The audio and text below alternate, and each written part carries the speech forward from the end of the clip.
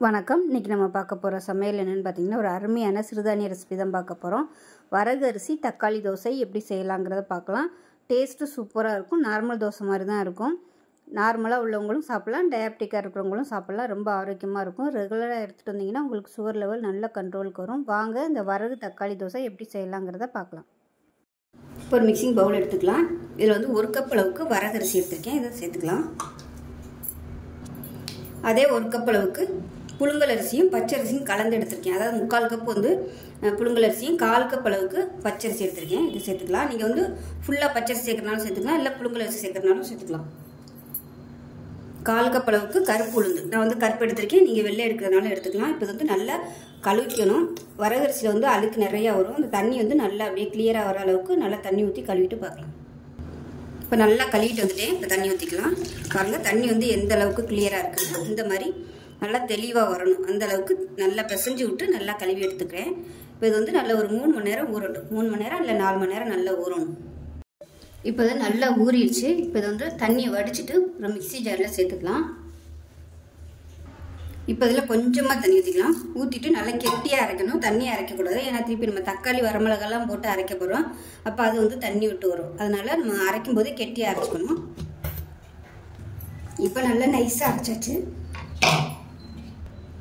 இந்த அளவுக்கு கெட்டியாக இருக்கணும் மாவு. இப்போ இது தனியாக இருக்கட்டும்.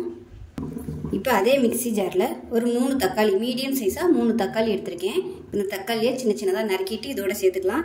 இதில் கொஞ்சம் அங்கங்கே மாவு ஊட்டிகிட்டுருக்கு நம்ம தண்ணி ஊற்றி அலசினோம்னா ரொம்ப தண்ணியாக போயிடும் அதனால் நம்ம இதிலே போட்டு தக்காளி அரைச்சிட்டோம்னா அது எல்லாமே நல்லா ஒன்று சொன்னாப்பில் வந்துடும் இது வந்து நல்லா சின்ன சின்னதாக கட் பண்ணிக்கலாம்.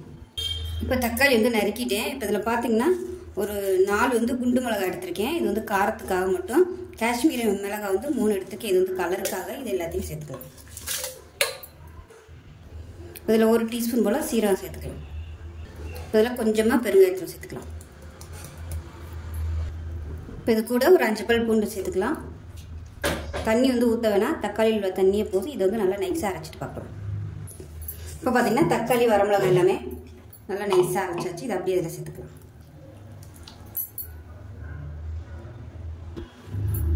இப்போ மிக்சியை அலசிட்டு அந்த தண்ணியை வந்து அப்படியே சேர்த்துக்கலாம். இப்போ இதை வந்து கலந்து விட்டுலாம்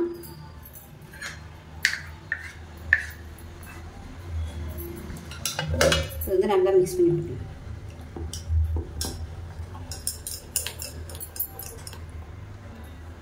இப்போ இதில் தேவையான அளவுக்கு உப்பு சேர்த்துக்கலாம். நான் வந்து இப்போ தான் உப்பு சேர்க்குறேன். அரை கிலோ உப்பு சேர்க்கலை. நல்லா கலந்துக்கலாம். இப்போ வந்து மாவு ரெடி ஆயிடுச்சு ஊற்றுற பதத்துக்கு இருக்குது இது வந்து நீங்கள் உடனே ஊற்றுறதுனால ஊற்றிக்கலாம் நான் வந்து ஒரு ரெண்டு மணி நேரம் புளிக்க விட்டுட்டு ஊற்றுறே மணி. இப்போ பார்த்திங்கன்னா ஆறு ஒரு எட்டு மணியை போல் நம்ம தோசை ஊற்றுறதுக்கு கரெக்டாக இருக்கும். புளிப்பு ஏறிச்சுன்னா கொஞ்சம் டேஸ்ட்டு நல்லாயிருக்கும். புளிப்பு இல்லாமல் உடனே ஊற்றுனோம்னா கொஞ்சம் சப்புன்னு இருக்க மாதிரி இருக்கும்.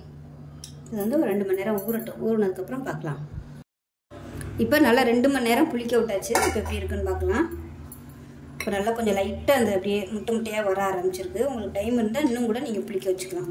இப்போ நம்ம வந்து தோசையை ஊற்றிக்கலாம் இப்போ கல் நல்லா காஞ்சிருச்சு. நம்ம தோசையை ஊற்றிக்கலாம்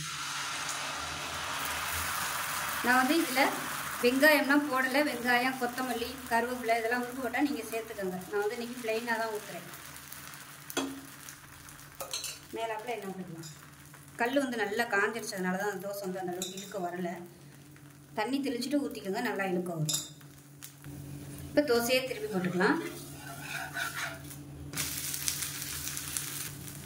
இப்போ நமக்கு தோசை அருமையாக ரெடி ஆயிடுச்சு. இப்போ ரெண்டாவது தோசை ஊற்றுறேன் கல் வந்து தண்ணி தெளிச்சிட்டேன். தண்ணி தெளிச்சுட்டு ஊற்றினோம்னா நல்லா அழகாக இழுக்க வருவாங்க ஃபஸ்ட்டு வந்து கல் நல்லா காஞ்சிருச்சு. நல்லா அப்படியே திறந்துட்டு வரல.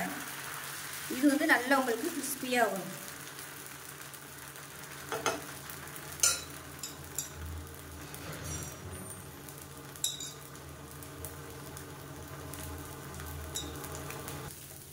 இப்போ நமக்கு அருமையாக ரெடி ஆயிடுச்சு தோசை.